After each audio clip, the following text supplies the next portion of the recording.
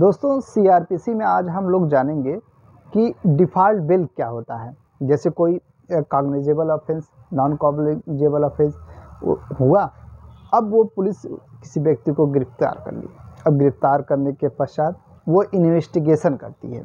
Investigation के दौरान उस जो एक्यूज पर्सन है, जिसको गिरफ़्तार किया है, उसको उसके प्रति कोई सबूत नहीं मिल पाया। मान लीजिए, पंद्रह दिन बीत गया और जुडिशियल कस्टडी मिली तो वो मजिस्ट्रेट के कब्जे में रहेगा। लेकिन अगर पुलिस कस्टडी मिलती है तो वो पंद्रह दिन की मिलती है। तो पंद्रह दिन के उपरांत अगर जैसे नॉन कॉग्निजेबल ऑफेंस है तो उसमें जो है, साठ दिन के लिए दिया जाता है।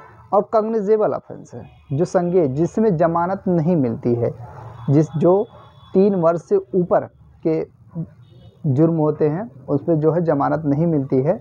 तो उस आधार पर जो है साठ दिन और नब्बे दिन के बाद भी उस अक्यूज पर्सन के ख़िलाफ़ कोई सबूत नहीं मिलता है। तो उस अक्यूज पर्सन का एक अधिकार होता है कि वो अपना डिफ़ॉल्ट बेल का बॉन्ड भर सकता है और अपने पुलिस कस्टडी या जुडिशियल कस्टडी से रिहा करा सकता है। यही होता है डिफ़ॉल्ट बिल यानी कि सबूत ना मिलने की दशा में एक्यूज पर्सन को जो है डिफ़ॉल्ट बिल मिलने की संभावना रहती है। यानी ये अर्थात वो एक अधिकार रहता है, संभावना नहीं, एक अधिकार बन जाता है डिफ़ॉल्ट बिल का।